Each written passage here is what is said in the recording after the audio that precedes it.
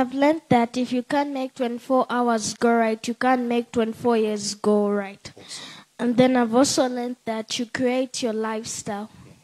And then I've also learned that what you want to create today is what you see first, and then you begin to create that problem. You begin to create the solution.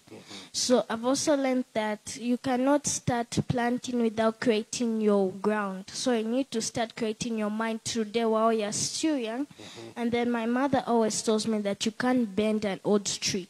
So it's more difficult for you to learn about how to do things when you're old. So it's better you start now so that you begin to stretch your mind.